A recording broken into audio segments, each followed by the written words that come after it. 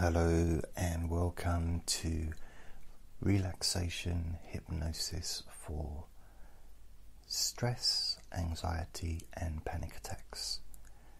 My name is Jason Newland. My website is jasonnewland.com. Please only listen to this when you can safely close your eyes. So, if you like what I do, please visit my website. You can leave a testimonial uh, telling pe- other people, you know, how you benefit. You can leave comments. All of my recordings are on the website, all organised by category and all that stuff. And there's about 1,087 or something like that recordings including, of course, all of these sessions as well. And if you wanted to send me a gift via PayPal or anything like that, it's also much appreciated. So, this recording has been inspired by an audiobook that I was listening to earlier today and it's uh, the book is about positive psychology, which is a subject that I've been studying lately. I'm very interested in it, hoping to do a master's degree in the subject as well. And I was listening to the audiobook because, to be fair, it's easier than reading. I like to listen to audiobooks. I've I'm all, I suppose, maybe like you, I like to listen. I get something different. I do like to read as well, but sometimes it's nice to listen. And um, although I do say only listen when you can safely close your eyes, um, when I listen to audiobooks, quite often I might be on a computer and doing other stuff and sometimes I'll lay down on the bed and listen. But what was being said in this book, it wasn't concentrating necessarily on anxiety or anything like that, but it did touch upon the subject. And there was a statement that was made which really grabbed my attention. And the statement was Apparently, it's a famous statement. I've never heard it before, but it's probably more in psycho- psychology places. I don't know. But the statement is zebras don't get ulcers, or zebras don't get ulcers, as in stomach ulcers. And I kind of, my ears pricked up a little bit like, what? What are they talking about?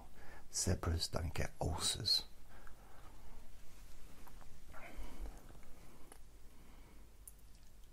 And then she explained, the lady that was you know, reading the book that she wrote. Zebras don't worry about stuff. They deal with it when it happens.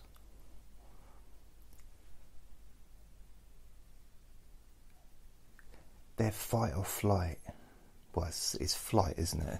With zebras, I mean, they're not going to take on a lion and have a fight with a lion. But that sense of urgency, you know, where all the muscles, the blood moves from the stomach to the muscles and you know, the adrenaline kickstarts and that tunnel focus of getting the hell out of there, away from that lion, only happens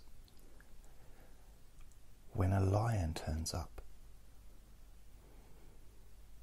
Doesn't happen the rest of the time. And that's the analogy in the sense of the difference between a z. I'm going to say zebra because that's how I pronounce it. That's how we pronounce it in England, but I know that other countries may call it zebras. So I just, you know, I can't keep changing it. So I'm just going to say zebra. That's why a zebra is compared to humans in the sense that we have that fight or flight response kicking in when we don't need it. Even people that don't have issues with stress or anxiety or panic. I'm talking about the whole population pretty much in the human, not everybody, but we're thinking about what ifs, worrying about stuff that might happen, being ready for something bad to happen when there's not necessarily evidence that it will. And I know that that level raises a heck of a lot with people that are perhaps struggling with anxiety and stress and panic. Mean, clearly it's a much, much higher level.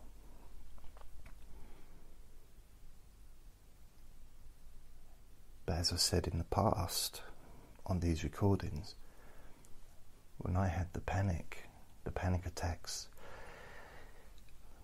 my main worry, the main thing I was scared of, was having panic attacks. In fact, I could pretty much say that's the only thing I was worried about. I thought I was going to die as well, even though it was a panic attack, and I knew that it was a panic attack, and I got medical advice and got checked out and was told that I was fine physically. And it was just a panic attack. Just. That word, just. It's very dismissive and I used to say that to myself it's just a panic attack. Well, if I'm dismissing my own feelings, why would I expect other people to take them seriously?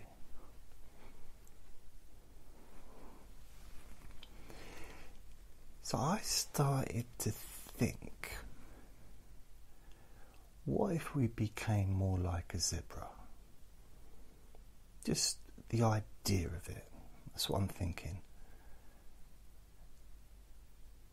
And I don't mean physically.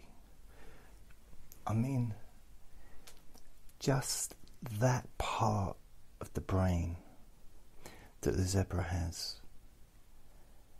that's not worried until it needs to be. Now, I've known a lot of people that were very relaxed, very uh, experienced meditators. I was involved in Buddhism for a long time, and I've met some people that you think that nothing would faze them at all. But what I noticed, what I noticed with some of those people is there was zero um, urgency, even at times when a bit of urgency was possibly required. Not in a, an emergency situation, but just almost like the going in slow motion. And I'd wonder if they were actually a zebra that if they saw a lion, they might not actually run, which would mean they'd get eaten. So, although being really chilled out and relaxed and calm and practically vertical may be an ideal goal for some people, because I think it's that thing of, you know, when you're really hot let's say in the summer, really in the winter, in the summer, you're really, really hot, and the idea of being covered in ice cubes actually seems appealing. When in reality, being covered in ice cubes would probably be horrible. you know, it might be nice for a second. Or when you're really cold and you may be outside, the idea of stepping inside a sauna and just thinking, oh, I'll stay in that sauna for hours. You wouldn't want to. Because once you got in there, you kind of would be too hot. So it's as if our brains want the complete opposite, which isn't really logical. It's not really what we want. I'm, I'm suggesting. So the idea is if you've got extreme stress, extreme anxiety, the idea, and I used to think this, I just want to be completely relaxed all the time.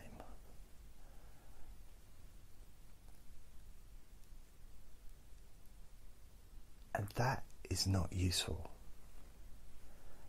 Being able to relax at will is a great skill to have.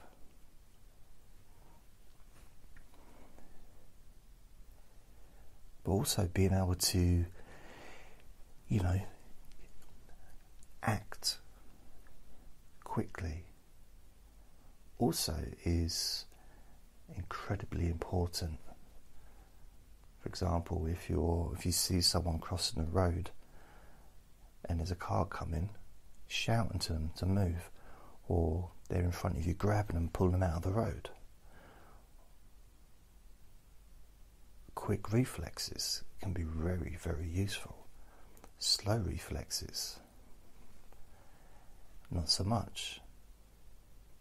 Sometimes.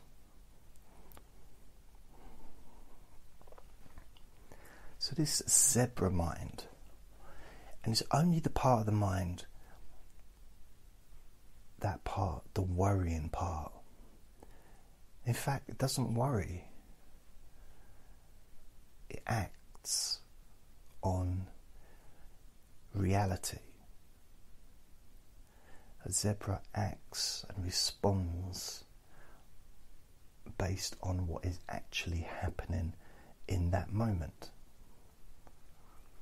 So, of course, they wouldn't be much good for planning or preparing.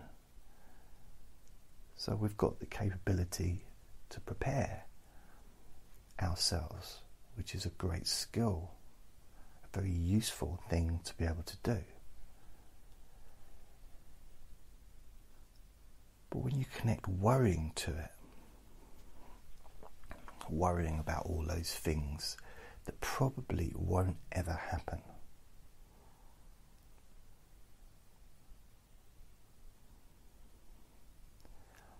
I just thought about it, you know. I could spend the next 30 years of my life walking on the pavement, scared, really scared that a car's gonna drive onto the pavement and run me over. That could be my, and just have an awful time every time I'm walking on a pavement for the next 30 years. Or I can not care. Not even think about it, not even give it any energy. And if one day a car does come on the pavement and run me over and I don't see it, then, or if I see a car coming, then I can act then I can put all my energy into that.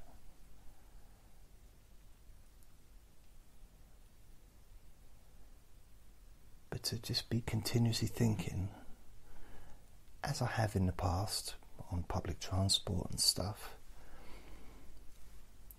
that something bad's going to happen when it's a big chance that it's not. There's probably more chance of winning the lottery a few times in your lifetime than being in a train crash or a bus crash. Of course, they happen every now and then, but so rarely.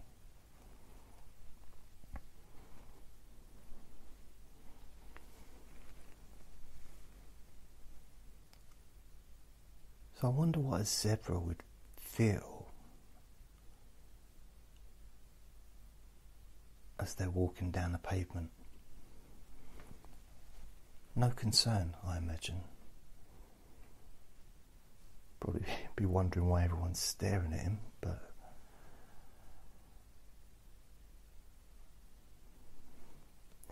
And to have that lack of fear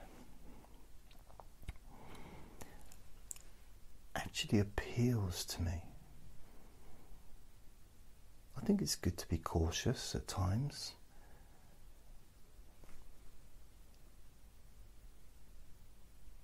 But how do you find the balance? And I'm talking about a zebra mind, a zebra's brain. I could talk to you about a ferret's brain or a dog's brain. A dog will happily run around the road, run around the streets, in fields, completely unconcerned about anything. Don't care about the traffic because they don't know about the traffic. And most of the time, they'll come home safely.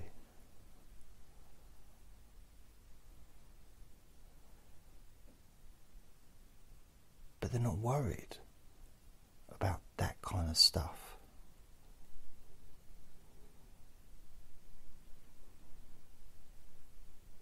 They're kind of in the moment, loving it.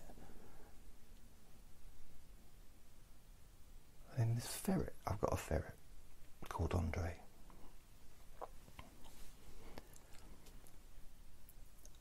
He's not interested, he doesn't worry about anything, I don't think. And I'm not a mind reader, but I've been studying him for four years. It's been like my little psychological project, just studying his behaviour, his responses. I don't think there's there's any worrying in him. There's no panic. There's no fear. Doesn't have fear. The only thing that makes him jump is motorbikes, you know, the really loud motorbikes that let off like a big bang. That makes him jump. But things like thunder, fireworks, none of that stuff even affects him, doesn't even wake him up.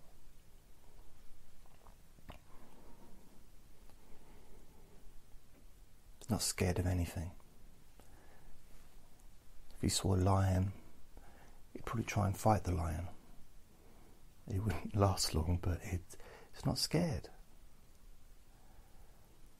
So, in a way, that's almost a ridiculous, un, you know, being fearless is could be dangerous. Walking across the road without looking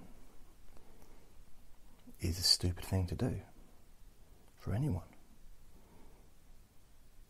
You need to look before you cross the road.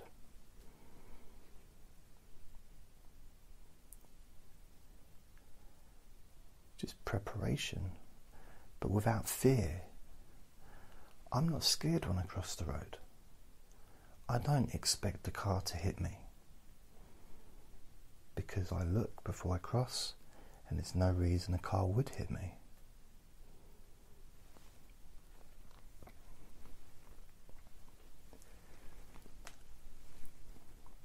the idea of the zebra only acting what it needs to and actually enjoying itself the rest of the time, feeling relaxed the rest of the time, not worrying. Imagine what that would be like to not worry, to literally to not be concerned about stuff that may or may not happen. And the only things that you actually focus on in the future are things that you want to happen. The nice things.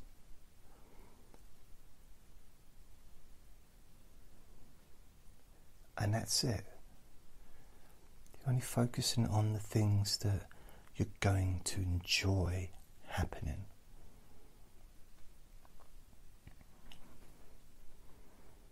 Which that would change the way you think about things,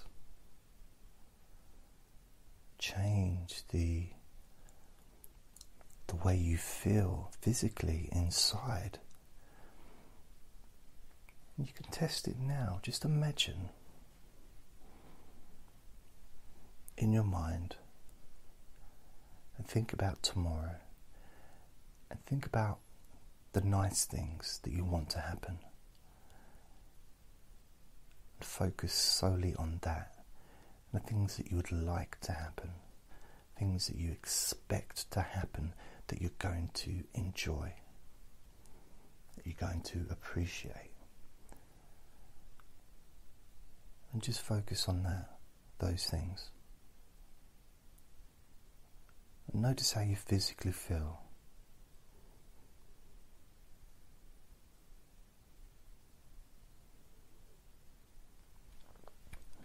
Notice how it changes the way that you feel inside.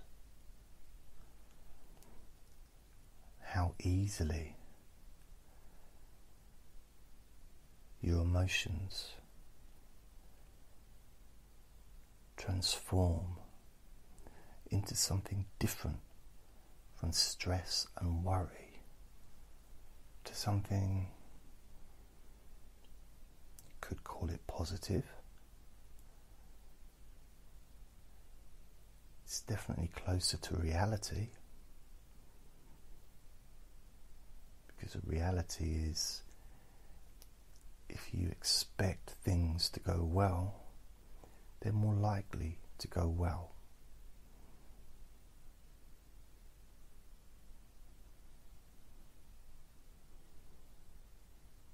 That's just the way things are.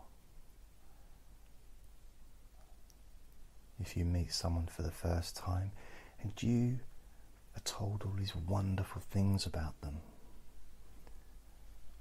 you're going to be pleased to meet them and you're going to be friendly to them and they're going to be friendly back to you. But if someone fills your mind with all these negative things about this person before you've even met them, you're going to feel very differently about them. And when well, you probably won't even want to meet them. And when you do meet them, you possibly won't be very friendly, like minimum friendliness. And they possibly will respond with minimal friendliness. And you'll think, oh, they're not very friendly. That's right what they said about them.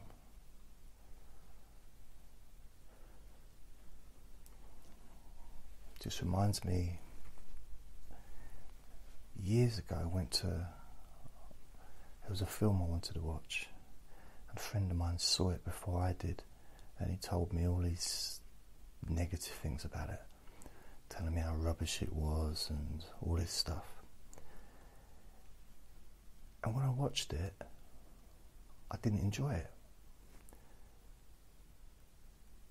That might be maybe I'm very easily influenced, possibly, but regardless of that, it tainted my experience because that negativity clouded my own judgment of just watching the movie and deciding for myself. And in reality, I wanted to watch it and I was preparing, I expected it to be funny, I expected it to be good.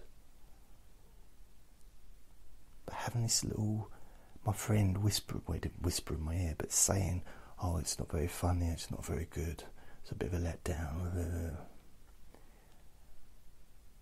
It had an effect on my experience of that film.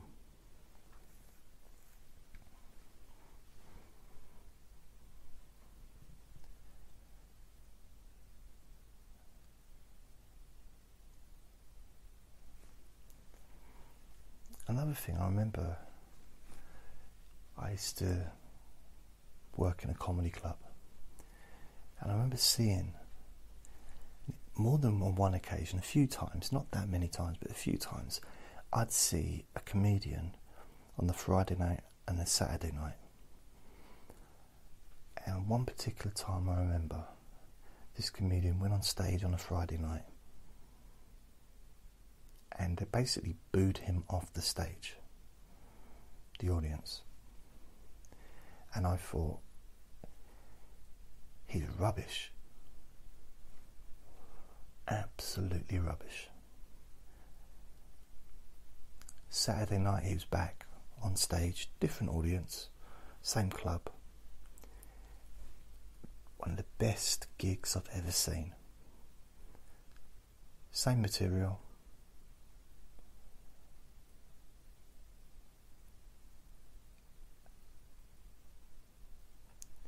if I hadn't seen the Saturday night, I don't think anything that anyone could ever say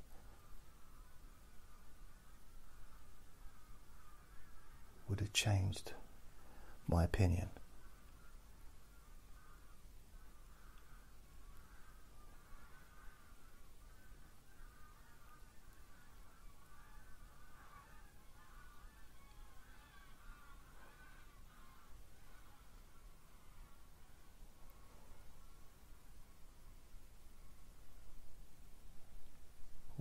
So I just heard a bunch of birds. Sound like ducks or going past geese. That was weird. So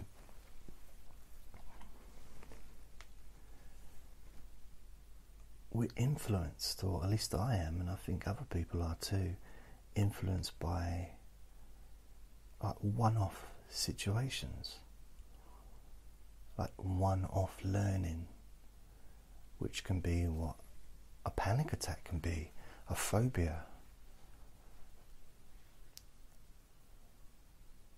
You do something once, and maybe it doesn't work out, and you think, oh, that's how it's always going to be. There's the old saying, isn't it? You never get a chance to make a, uh, you know, another first impression will first impressions last? First impressions only last if you never meet the person again.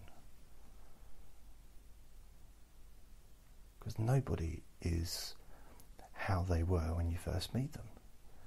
If you get to know them, you get to find out more about them.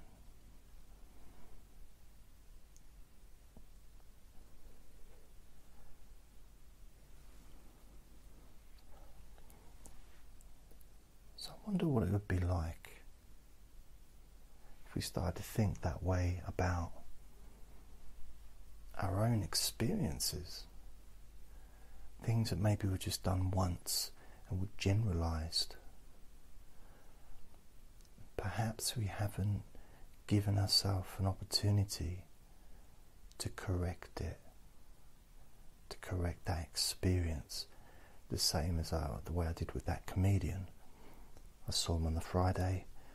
I saw him on the Saturday. I wasn't looking forward to seeing him on the Saturday, but I was working, so I had no choice. And he was brilliant.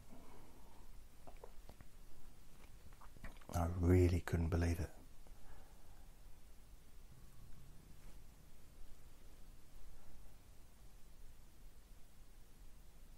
So he had a chance to make a second impression.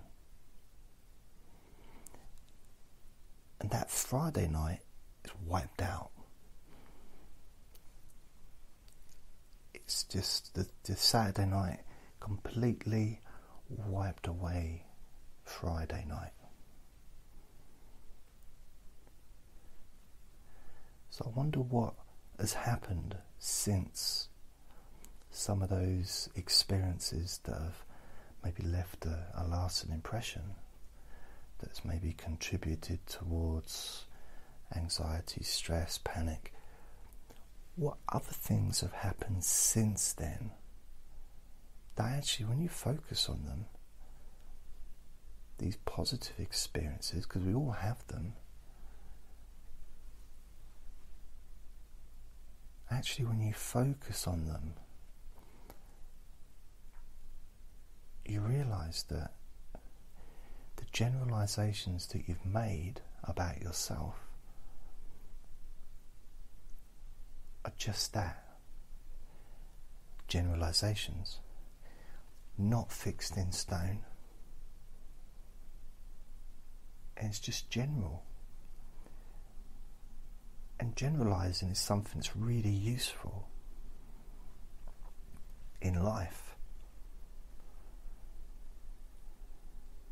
But it's also very unhealthy at times, very limiting at times, especially when we're that generalizing is getting in the way of our own happiness.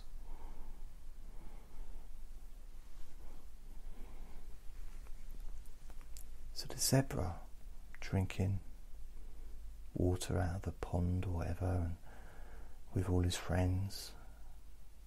I guess they might not all get on with each other, but I'm just generalizing.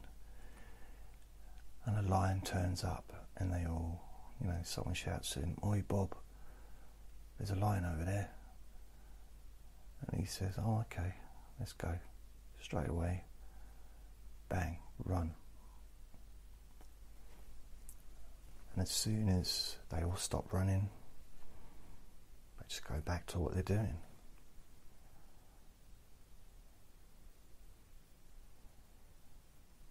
They're not worried about the next time they see a lion. They're not concerned or stressing about the last time they saw a lion. It happened. And thinking about it isn't going to really help them unless they can learn something from it.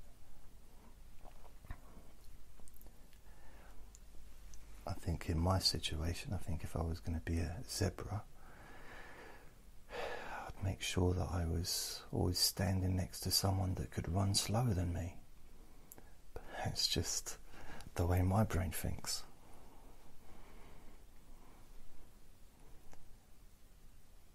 That's, that's bad, isn't it? But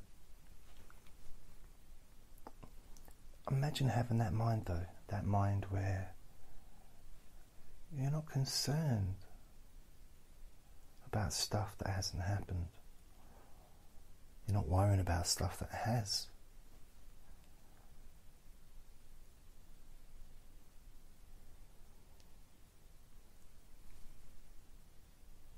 Then you're left with what's happening now.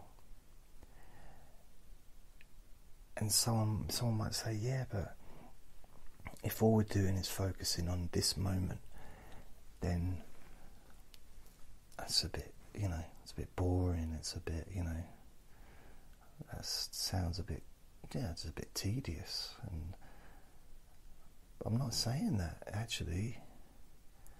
All of us have got huge numbers of nice memories, even if we pretend we don't we do. I had a fairly rubbish childhood at times, really bad at times. But recently I've been getting in touch with the reality of the fact that there were some really good times as well. Christmas when I was a kid, when I was between ages of seven and 14 or whatever were really good. Christmas time was great. Birthdays were great. Bonfire night, Guy Fawkes night was great.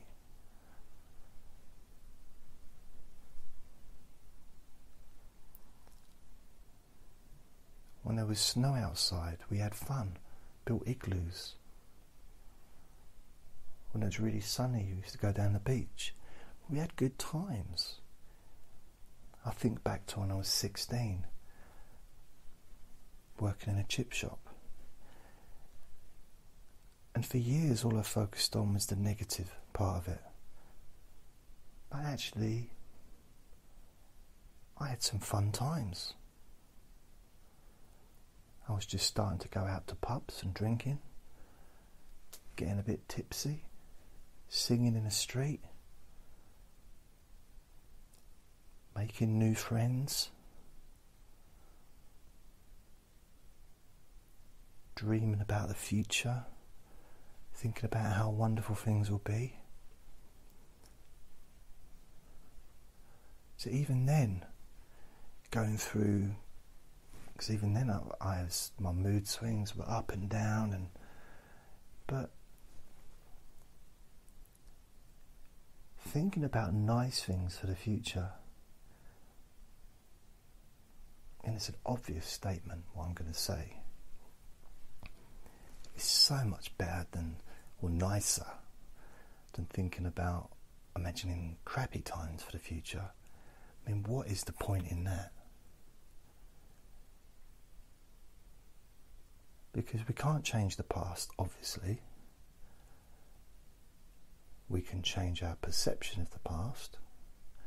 We can focus more on those nice times from the past.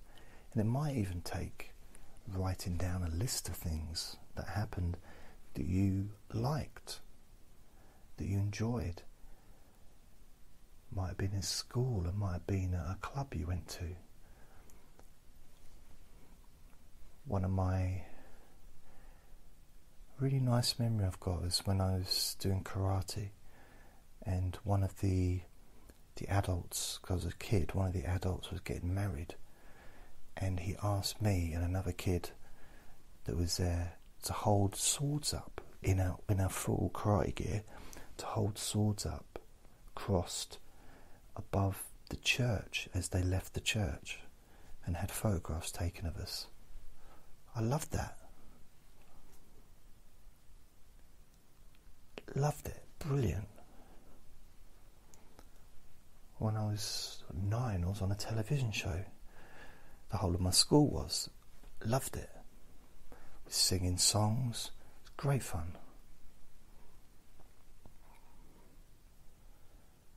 Getting my gradings in karate. Always got a first class pass. I loved it. I felt so good. So and there's so many, especially at my age, 49, I've got a lot of memories that I can tap into if I just put the energy and if I'm willing to do it. Now you're listening to this, you may be you may you may be 90, you may be 20, you might I don't know any age in between. You could be younger than that. We've all generally got memories of the past that are nice. It's about focusing on things.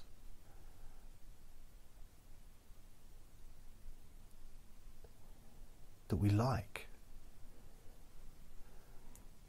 So, if you're about to go to a restaurant and you know you're going to let's say a Chinese restaurant tomorrow night with someone that you like, or maybe it's a, a work outing or friends, family, whatever, and you're thinking about what food are you going to have.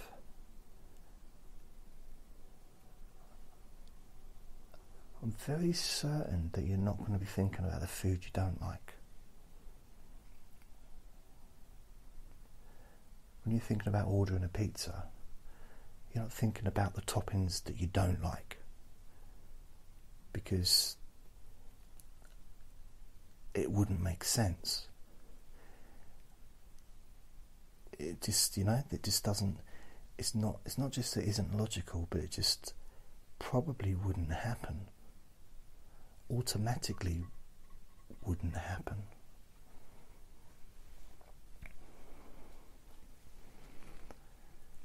So when you think about the future, even if, I mean, it's all made up, isn't it? The past isn't even real.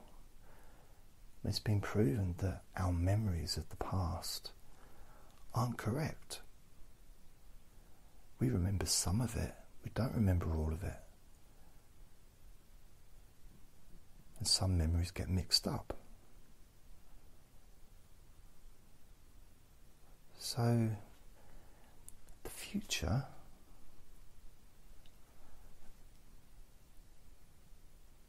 it's imagination. That's all it is. So, if you think if you're going to read a book, you choose a book to read by an author, what do you choose? It doesn't have to be uh, fiction, it could be non fiction, educational, it could be anything. But you choose, I'm just guessing this, but you choose something that you like. You choose a subject that you're interested in. You choose an author that you like to read. Let's say some people like to read Stephen King books or the Harry Potter you know books you choose something that you know you're going to enjoy. You don't just choose a random book.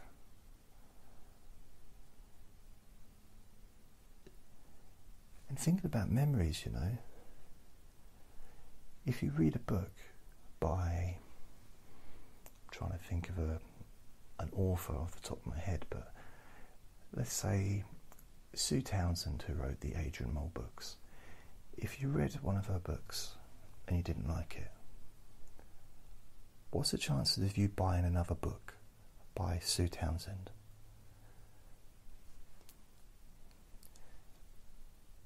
So there's a memory that you don't like. Why think about other memories that are similar? Why would you read another book from the same author that you didn't enjoy their book for? You know, the one that you read, you didn't like it. Why waste your time reading another one?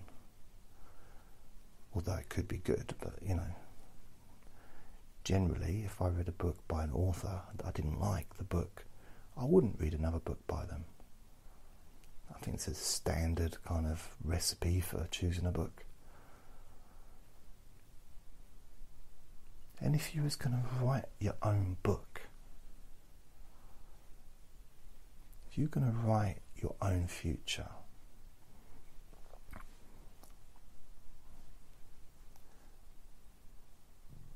would you write a load of crap?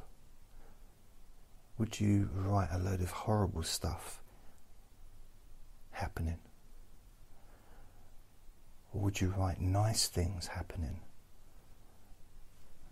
You're going to write your book and whatever you wrote in it is going to happen next, it's going to happen over the next year, it's going to happen over the next 10 years, the next 30 years.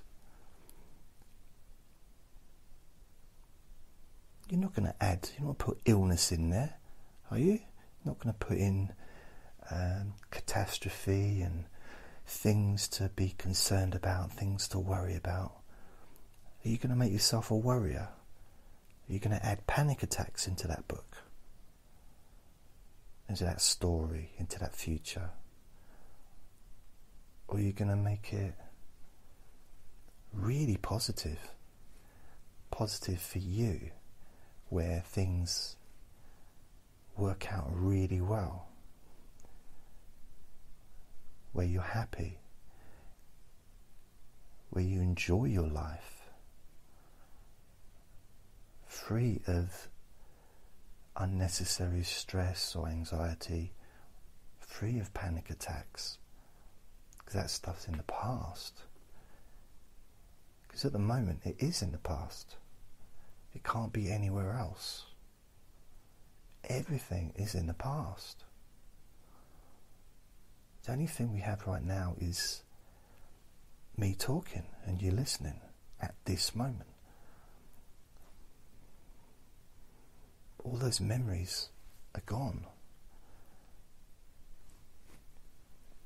And if you think about the memories as a DVD collection of movies or television shows, and if you're like me, you've watched a lot of television, a lot of movies over the years. I've watched thousands and thousands of movies and millions of hours of television, probably. So when you think back, in a sense, you bring out the library, your library of DVDs. Oh, I'm going to watch I'm going to watch back, and you know, every day for an hour, you're going to watch one movie, or an hour and a half, two hours, whatever. So every day in the future, you're going to watch one movie from the past. Whether it be Naked Gun, Titanic, whatever and you've got a choice of all the movies that you've ever watched, are you going to choose a movie that you didn't like?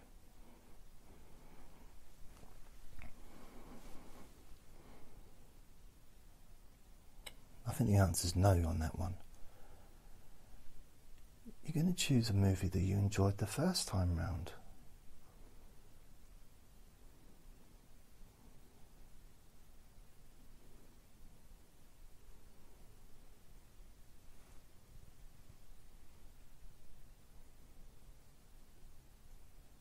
And that's like memories. Got so many choices, so many things that have happened. Got a choice of things to think about.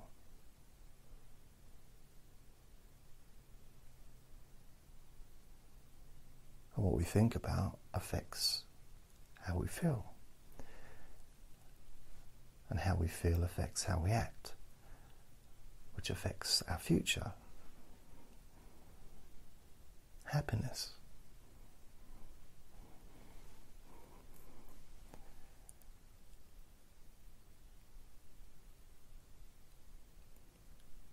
So if you've got a, a party to go to or a wedding to go to, and it's not really your thing. I'm not a big fan of big public events at all.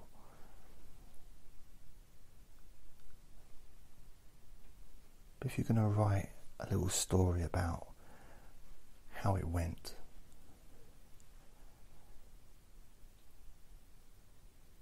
Wouldn't it be more enjoyable to write a nice story? Especially if you knew that what you wrote was going to happen. You'd write something nice, wouldn't you? I went there, felt confident, felt relaxed, had fun, dealt with everything easily, was surprised at how well it went.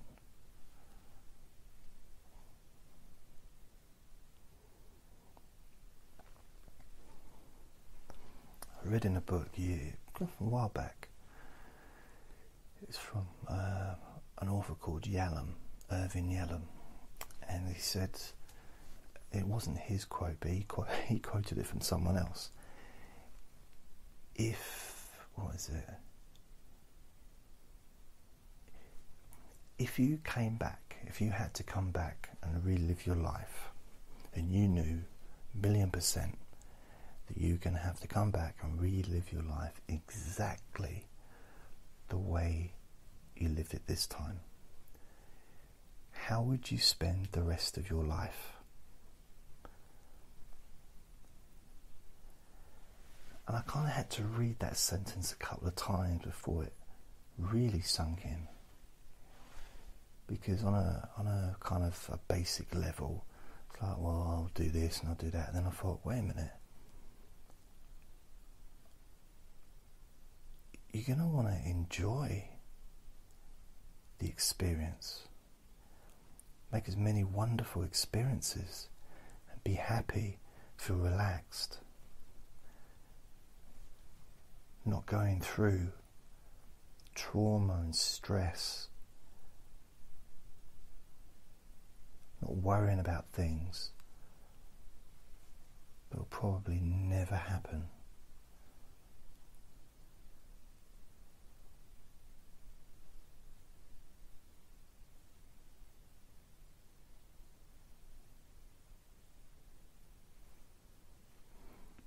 Yeah, I think it's uh, quite a nice, quite a nice idea.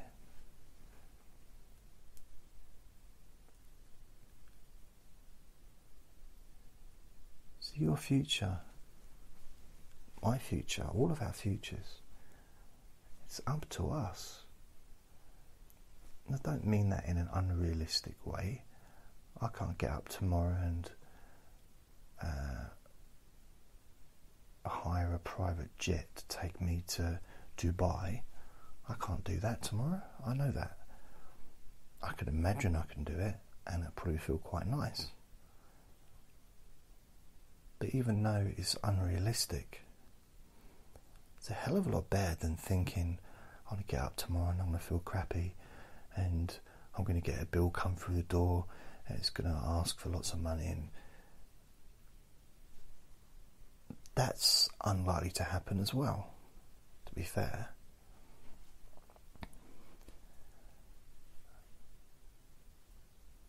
But what makes you feel better in the moment as you think about it? I'm not saying, you know,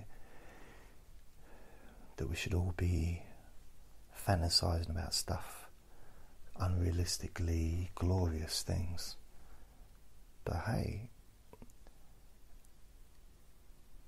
if we're spending our time fantasizing about extremely horrible things that are never going to happen,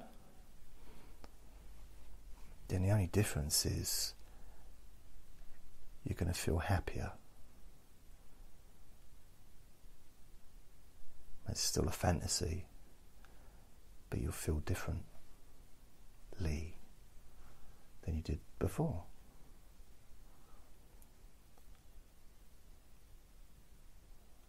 And then starting to plan the future, the future that you want. A future where it doesn't have stress or anxiety or panic. Because you've done that, you've been there. It's boring, isn't it? It's boring. It's not interesting. It's not exciting. Anxiety, stress, and panic is not exciting at all. It's painful it's boring, and I'm sure that you you can't be bothered with it anymore. I can't. Don't want that stuff no more. I want to feel relaxed. I don't expect to feel relaxed the whole time. That's not realistic.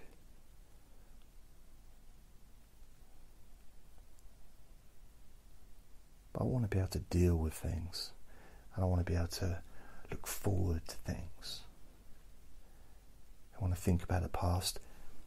Choose something that you want to think about. There's lots to choose from. Just like all those movies that you've watched in the past. You wouldn't keep a collection on your shelf of stuff that you didn't like. What would be the point of that?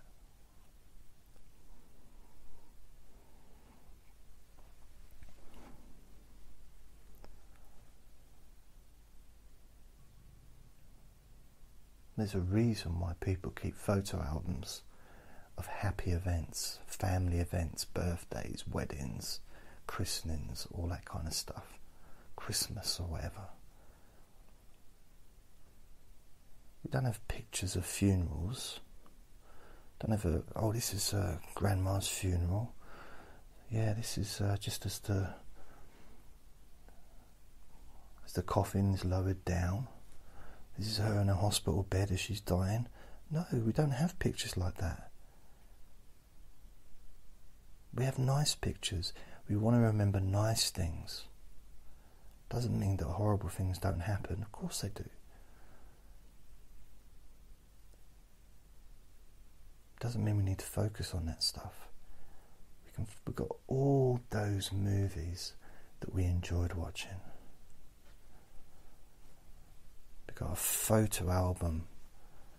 It's in our mind, but it's more than any photo album that's ever been created. More pictures, memories of nice experiences, first times of doing things, the first kiss, the first dance, the first time you drove your own car, maybe.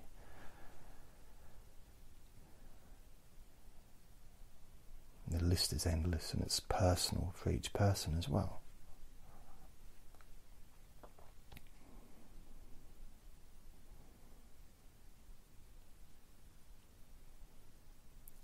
So let's maybe test being like a zebra.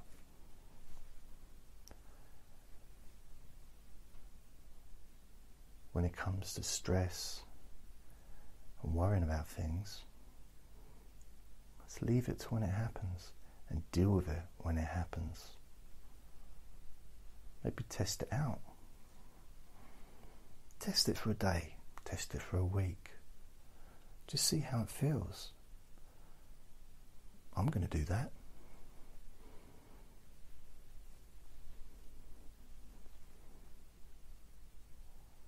See how it feels.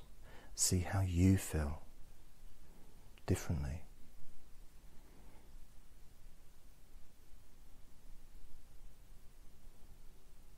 Embrace the zebra. And that's why zebras don't get ulcers because they don't worry about stuff.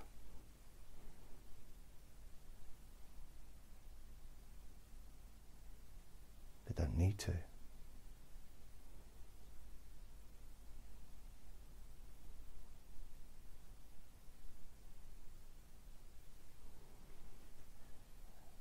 So that brings us to the end of another of these recordings.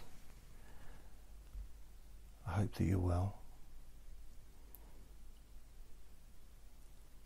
And I'll speak to you very soon. And remember to be kind to yourself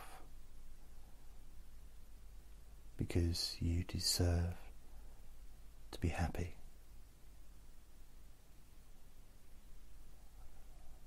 Lots of love.